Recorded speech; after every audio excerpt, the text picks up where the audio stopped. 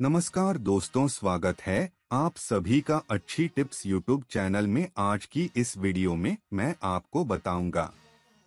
घर की नाली किस दिशा में होनी चाहिए? दोस्तों, आप इस वीडियो को शुरू से लेकर अंत तक पूरा देखिएगा ताकि आपको पूरी जानकारी प्राप्त हो सके तो चलिए शुरू करते हैं। घर की नाली ईशान, उत्तर पूर्व या वायव्य तथा उत्तर पश्चिम कोण की तरफ़ होनी चाहिए। मतलब नाली से इस इस दिशा की तरफ़ जल का बहाव होना चाहिए। नाली को ढककर रखना शुभ माना जाता है। वास्तुशास्त्र के अनुसार मकान की पूर्व दिशा में जल का बहाव शुभ माना जाता है। अगर उत्तर दिशा में जल निकास है तो धन लाभ होता है।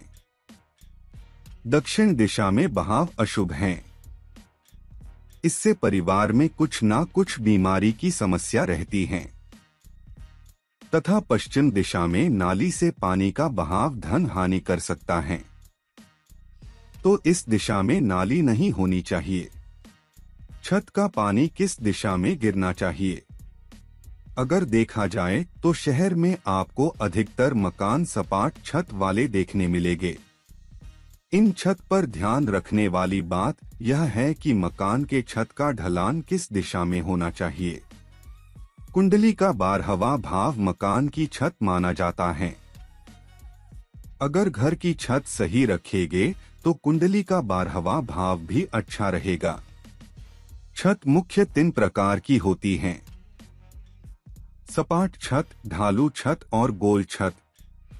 यह तीनों प्रकार की छत वास्तु के अनुसार बने तो अच्छा माना जाता है। छत का ढलान हमेशा दक्षिण, पश्चिम और उत्तर पूर्व की तरफ़ होना चाहिए।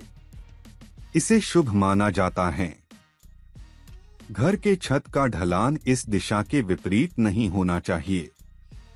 इस वीडियो को देखने के लिए आपका बहुत बहुत धन्यवाद। दोस्तों, कृपया वीडियो को छोटा सा लाइक करें और चैनल को सब्सक्राइब कर ले।